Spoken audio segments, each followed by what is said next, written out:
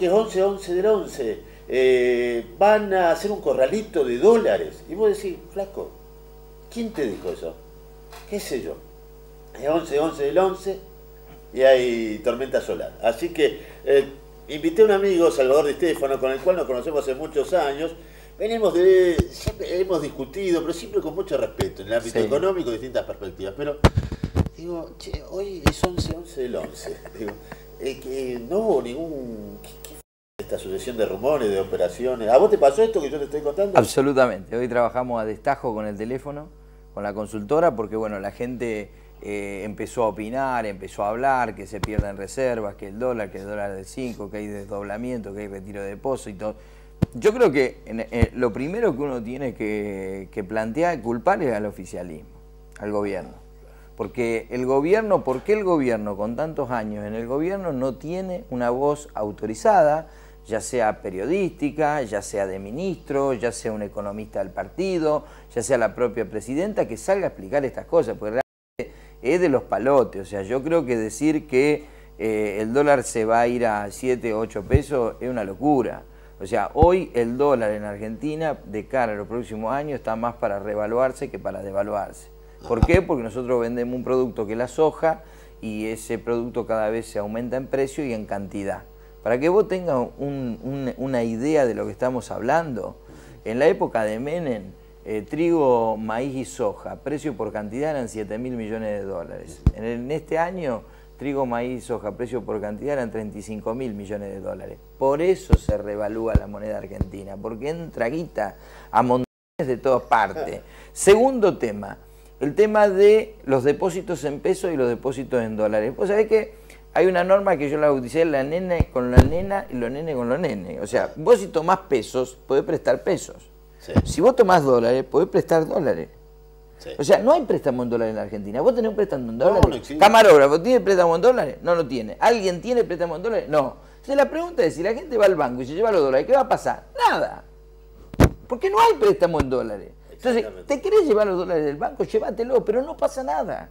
O sea, a mí me llaman, me dicen, me dicen que va a pasar esto. Para, vos te quedás tranquilo Pero llevando. aparte, ¿quién lo dice? Porque ¿Quién lo dice? Esto es lo ¿Quién lo plantea? Porque, a ver, el, el- el banco yo creo que cuando lo viene a buscar, un favor, porque te estoy teniendo estos dólares al 1% anual, los tengo acá, el tipo que deja, hace un plazo fijo en dólares es porque un miserable que no quiere pagar una caja de seguridad, o sea, el tipo, el tipo que, el tipo es una rata que no quiere pagar una caja de seguridad, y te llama a vos, que no te va a pagar nunca una consulta, porque digamos, si no quiere pagar una caja de seguridad, Menos te va a pagar te va a pagar una consulta. Entonces andan por la calle diciéndote, che, se va, tengo miedo de ver. No pasa nada, flaco. No pasa nada.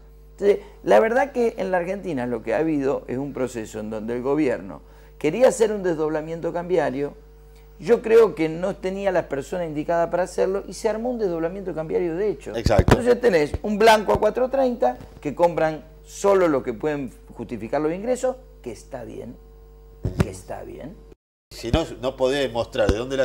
¿Viste? Porque si vos venís y me decís, mira, soy monotributista, tengo un auto cero kilómetros, este, tengo una casa de cero kilómetros, este, eh, declaro 5 mil pesos por mes y quiero comprar dólares. Susana, no. Susana Jiménez.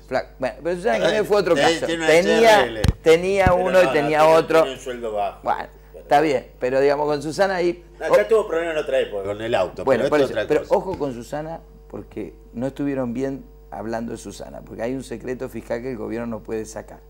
Ahí se armó un lío Y real, real. Bueno, pero nosotros ya estamos. Bueno, pero ya- me engancho en la onda chisme y Bueno, y entonces, la- la- el, el punto cuál es? El punto es el siguiente. A ver, el gobierno lo que tenía que haber hecho es comunicado el desdoblamiento o haber hecho lo que hizo Brasil. ¿Viste lo que hizo Brasil? Brasil tenía el, el real en 1.55. Cuando vinieron a buscarle reales, eh, en dólares, le dio. Dejó que se vaya hasta 1.90. ¿Viste? Como el barrilete, vos le das hilo y ya. Y cuando llegó a 1.90 los mató a todos y hoy el real está a 1.75. Hoy me encontré con una persona y me dice, se está devaluando el real, pero no, el real está a 1.75. Se está revaluando. Revaluando. Claro. El peso uruguayo se está revaluando. El guaraní fue la moneda que más se revaluó en los últimos seis meses. Pasó de 5 a Está 4. preocupado el ratón que tiene que ir, perdón que me exprese letrero, pero estamos hablando en un tono coloquial, eh, que va a Ciudad del Este, o sea, esa es la gente que... Bueno, entonces digo, digo, no te preocupes por el dólar. Lo que si vos tenés un ahorro, a mí me parece que la gente tiene que empezar a preocuparse en tener un proyecto. Decir, bueno, a ver. ¿qué, qué vamos a hacer con este dinero? Vamos a tener un bien inmueble, vamos a cambiar el auto, vamos Voy a poner un negocio. mercadería. Bueno, que yo decía, no financia Obama, financia la estantería, pero supongamos hay gente que te dice, bueno, pero yo no tengo este, eh, un negocio, yo soy un empleado y me sobran 10 mil pesos.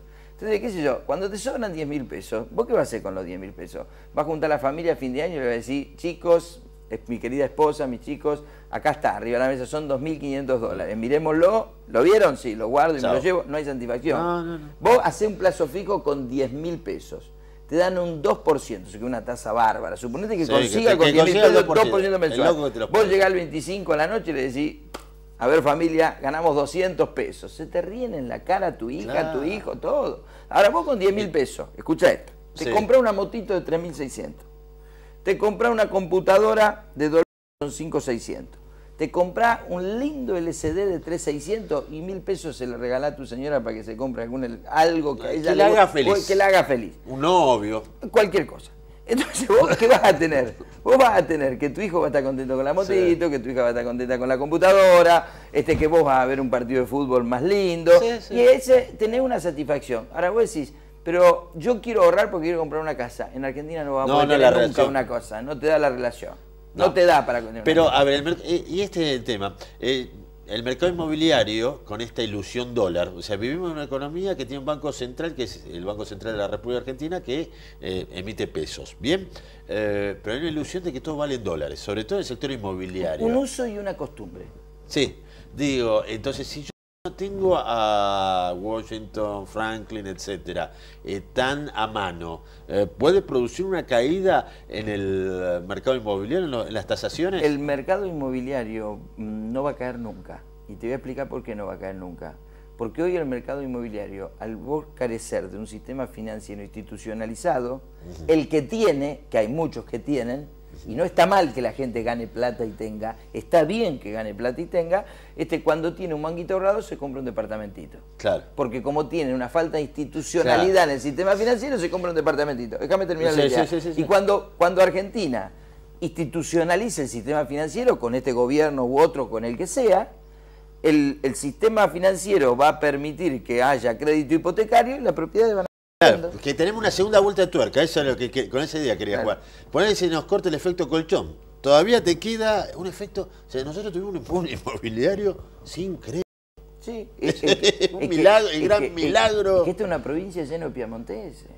Es que ahorran y ahorran, mirá cómo se ríe. El piamontés cuando hace frío, frío, frío se para delante de la estufa y recién cuando hace mucho Se frío ríe, la se ríe, pero, pero tiene uno Piamonte de. Pero sabés cómo, cómo la guarda y la aprieta el Piamontés, es terrible. Y esos son los que te compran propiedades, Piamontés, Marquellano, toda la colectividad española, y que vinieron con la cultura de ahorro. Pero es que así, tenemos una cultura, y lo digo como italiano, como hijo italiano, Sí, somos- tenemos una cultura de trabajo, de ahorro ¿eh? y de ladrillo. Por nuestras venas circula en este brazo verde y en este brazo roja de ladrillo. Claro. Y en eso juega la inversión la gente. Entonces, Ah. vos le tenés que tratar de decir, usted ármese su ribotril.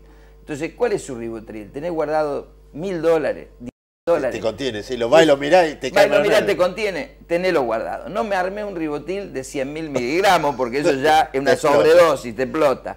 Te armaste un ribotil chiquito y el resto trata de gastarla y trata de ser feliz con la inversión. Bueno, eh, fíjate vos qué interesante, porque nosotros eh, venimos de distintas matrices de pensamiento, y yo por eso eh, digo, uno no, no hay nada más aburrido que hablar con la gente que eh, piensa como vos, porque si no te juntás, te armás, te, te Sí, tomás sí. la- Pero fíjate vos, con distintas matrices de pensamiento, pero estamos llegando a un punto que es el fin último, que esta fue la gran enfermedad que tuvimos en algún momento, sobre todo los economistas monetaristas ortodoxos que están llevando, eh, van a chocar a Europa el año que viene.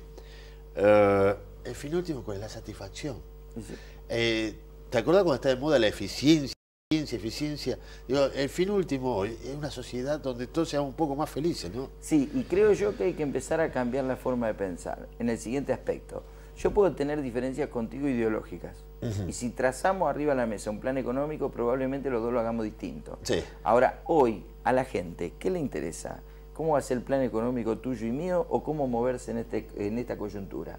¿Cómo le compras zapatillas al hijo? La- El 76%, por- vos diste un dato el otro día, por eso se me ocurrió invitarte, porque te estaba viendo por tele, en, en tu programa, y el 76% de los argentinos se levanta a trabajar todos los días, no se levanta a comprar dólares. Exactamente. Ese es el dato. Entonces, el fin último es ver a tus hijos en la escuela. O sea, cambiar es esa cuestión. Bueno, acá hay una revolución que no la están viendo muchos sectores, que es la revolución de la incorporación de la clase media eh, en el mundo. O sea, vos tenés una Argentina que ha incorporado, que de tener un desempleo de 30% tiene un desempleo de 7%. Entonces, toda esa gente que se incorporó al empleo no ha cambiado los hábitos de consumo, sigue haciendo la pizza en la casa, sigue comiendo lo mismo. Ahora, el manguito que tiene, ¿qué hace? Lo transforma en bienes. Quiere comprarse un televisor, una moto, algo. Y eso te genera un boom de consumo impresionante, porque esa gente que en el 2001 estaba desempleada, hoy se encuentra con, con posibilidad de elegir Ahora, esa revolución que la nueva clase media argentina, es la nueva clase media en Paraguay, es la nueva clase media en Brasil, en Uruguay, en, China. En China, claro. la India misma. La, India... misma. Si vos tenés todo un mundo, una clase media, el mundo va a incorporar cerca de 3 mil millones de personas a la clase media. Entonces, lo que antes vos pensabas con que crecemos, stop and go, crecemos y nos quedamos, hoy es crecer y volver a crecer. ¿Me explico? Claro, no pero, entonces, ¿qué pasa? Cuando viene la, predicción apocalíptica, chocamos, todo el, mundo te saca. A ver, fíjate esto. Nosotros aumentamos 35% las retenciones. Primer punto, no estoy de acuerdo. Yo acá, por ejemplo, está una de las diferencias. Una diferencia. Yo estuve a favor, es más, de las 125 estoy a favor. Yo estoy en contra. Ahora, pasó esa crisis y las propiedades aumentaron. Claro. La FJP, eh, nacionalizamos la FJP. No estoy de acuerdo. Yo estoy de acuerdo. Un boom terrible, una tragedia. Preguntar a General Motors, que le, festejando con la bandera. Y después de la, de la FJP siguió todo para adelante. Bien. Manotearon la reserva del central. No estoy de acuerdo. Estoy de acuerdo. Vota de acuerdo.